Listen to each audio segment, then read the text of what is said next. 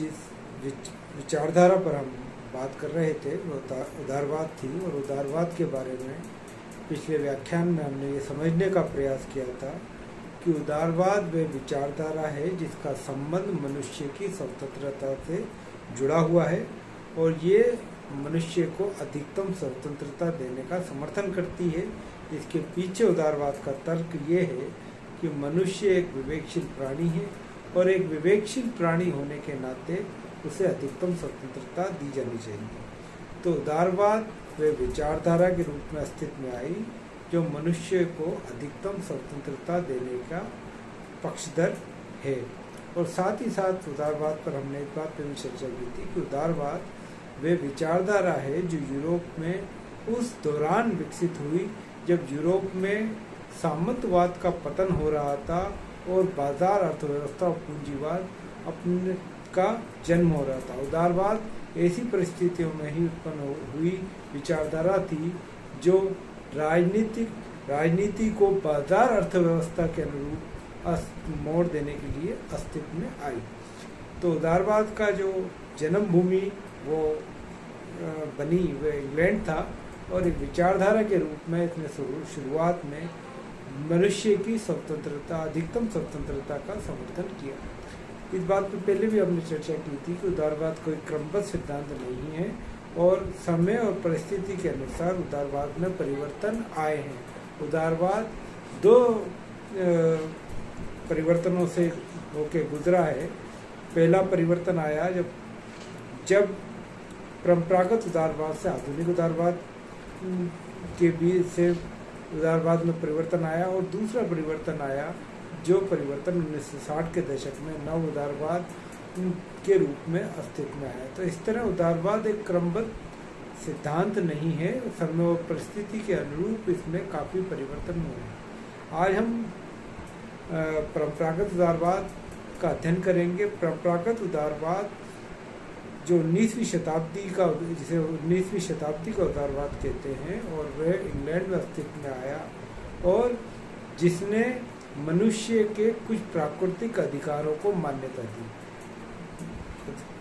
प्रागत उदारवाद की यह मान्यता थी कि मनुष्य के कुछ प्राकृतिक अधिकार हैं, और वे अधिकार हैं जीवन का, स्वतंत्रता का और संपत्ति का, और मनुष्य जन्म लेते ही इन अधिकारों के साथ जन्म लेते हैं और राज्य का अस्तित्व इन्हीं अधिकारों की रक्षा के लिए है और यदि राज्य इन अधिकारों की रक्षा नहीं कर पाता तो उसे बने रहने का कोई अधिकार नहीं है। तो चिर सम्मत उदारवाद, जिसे हम परंपरागत उदारवाद या 19वीं शताब्दी का उदारवाद कहते हैं, जिससे एडम स्मिथ, जॉन लॉक और रिकार्डो जैसे विद्वान जुड़े हुए हैं, उसकी ये मान्यता थी कि मनुष्य के कुछ प्राकृतिक अधिकार हैं, राज्य का अस्तित्व उन अधिकारों की रक्षा के लिए आया और ये उदारवाद लगभग सभी क्षेत्रों में मनुष्य की अधिकतम स्वतंत्रता पर बल देते हुए नकारात्मक स्वतंत्रता की बात करता था।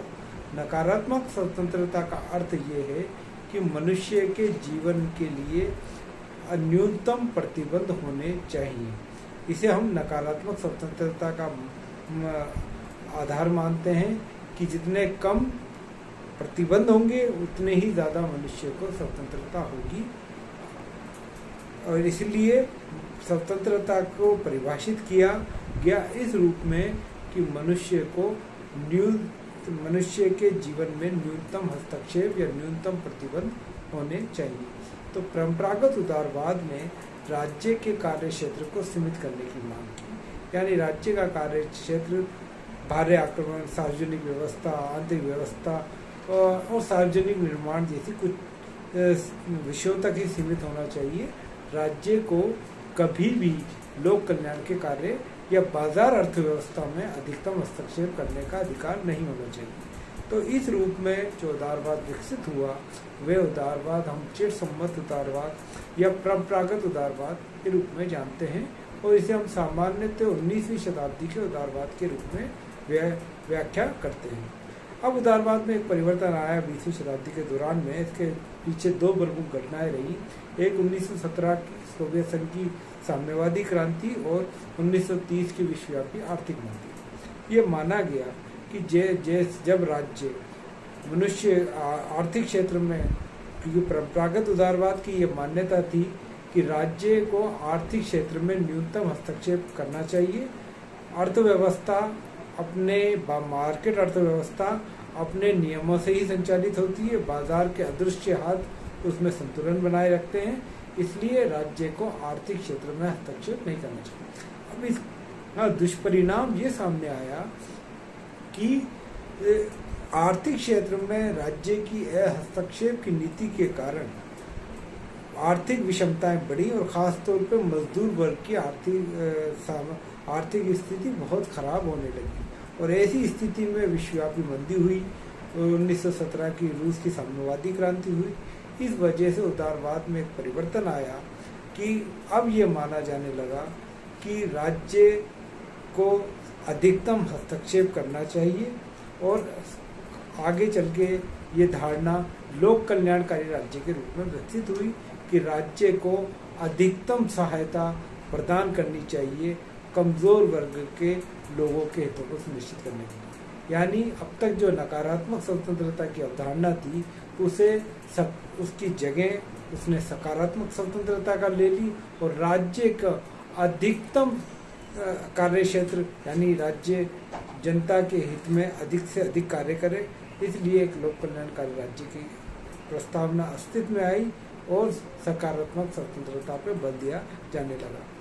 और इस दौरान द्वितीय विश्व युद्ध के बाद ब्रिटेन में भी और अमेरिका में भी व्यापक स्तर पर राज्य ने लोक कल्याणकारी कार्य को अपनाना शुरू किया और यही वजह है कि उदारवाद में जो परिवर्तन हुआ कि जिसे हम आधुनिक उदारवाद या बीसवीं शताब्दी का उदारवाद कहते हैं, उसने राज्य के अधिकतम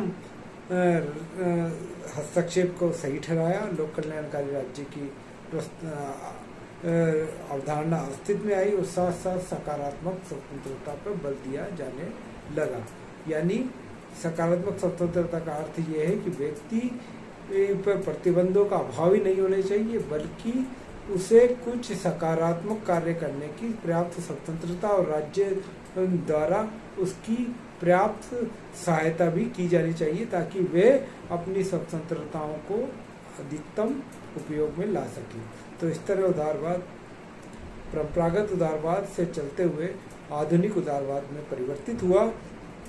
फिर इसमें एक परिवर्तन 1970 के बाद आया कि जब उदारवाद, एक नव उदारवादी अवधारणा में विकसित हुआ, जिसने पुनः राज्य की कार्य क्षेत्र को सीमित करना की बात कही।